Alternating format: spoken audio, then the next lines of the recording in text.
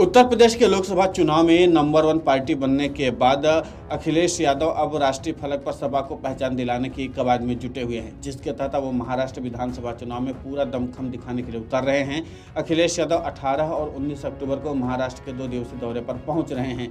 इस दौरान में मालेगांव और धुले में पार्टी के कार्यक्रम में शिरकत करेंगे। इससे महाराष्ट्र सियासी फिजा को सपा के पक्ष में करने की स्ट्रैटेजी मानी जा रही है। महाराष्ट्र में सपा की नज़र कांग्रेस की सियासी ज़मीन पर है। सपा ने महाराष्ट्र में मुस्लिम बहुल और उत्तर भारतीय मतदाताओं वाली सीटों पर चुनाव लड़ने की रणनीति बनाई है, जिसके लिए उम्मीदवारों के नाम का भी ऐलान शुरू कर दिया है।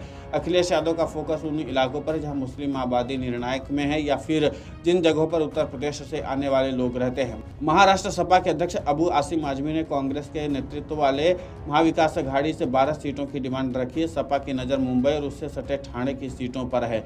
सपा ने मुंबई इलाके की मनकोर शिवाजीनगर भायखला वर्सोवा, इससे सटे ठाणे की भिवंडी ईस्ट और भिवंडी वेस्ट जो दोनों सीटों के अलावा महाराष्ट्र की धुलिया और औरंगाबाद जैसी मुस्लिम बहुल विधानसभा सीटों पर अपने उम्मीदवार उतारने की पूरी तैयारी कर रखी है। अबू आसम आजमी ने महाविकास अघाड़ी गठबंधन के साथ बिना सीट शेयरिंग के भिवंडी की दोनों विधानसभा सीट से प्रत्याशी उतारने का ऐलान भी किया है। तो कांग्रेस ने भी भिवंडी पश्चिम से विधानसभा चुनाव लड़ने की घोषणा कर दी है। भिवंडी पश्चिम की तरह ही मुस्लिम मतदाताओं का दबदबा भिवंडी की पूरी सीट पर भी रहा है। यही वजह है कि यहाँ से दो बार समाजवादी पार्टी जीत दर्ज करने में कामयाब रही। सपा के रईस शेख भिवंडी ईस्ट से विधायक हैं। सपा इस बार ईस्ट के साथ वेस्ट से भी उम्मीदवार उतारना चाह रही है। मुस्लिम वोटर दोनों सीट पर हार जीत तय करते हैं। मुस्लिम वोटों के दम पर सपा दो बार शिवसेना से भिवंडी पूरी सीट पर शिकस्त दे चुकी है, जबकि वेस्ट सीट पर कांग्रेस ने शिवसेना चुनाव लड़ने का ऐलान बनाया है। जबकि वेस्ट सीट पर कांग्रेस ने चुनाव लड़ने का प्लान बनाया है। महाराष्ट्र में सपा के दो विधायक हैं, जिनमें से मानकोर शिवाजी नगर सीट से अबू आजमी और भिवंडी ईस्ट से रईस शेख हैं। सपा इन दोनों सीटों के साथ मुस्लिम बहुल वाली दस सीटों को चिन्हित कर रखा है, जहाँ से चुनाव लड़ना है।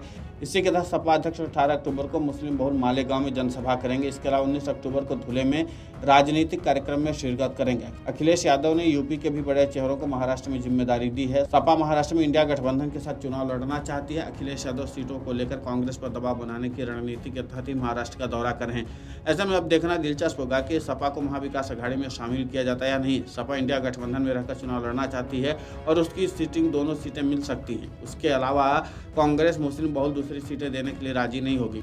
कांग्रेस के प्रदेश महासचिव शाह आलम ने कहा कि सपा, भिवंडी, पूर्व और पश्चिम दोनों विधानसभा क्षेत्र मांग रही है, लेकिन दोनों ही नहीं तो कम से कम पश्चिम क्षेत्र से कांग्रेस ही चुनाव लड़ेगी। वैसे हम देखना दिलचस्प होगा कि सपा और कांग्रेस के बीच में सामंजस्य बन पाता है या नहीं बन पाता है।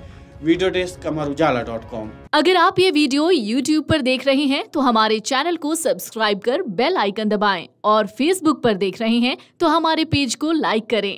आठ मिलियन प्लस सब्सक्राइबर। आपके इस भरोसे के लिए बहुत धन्यवाद।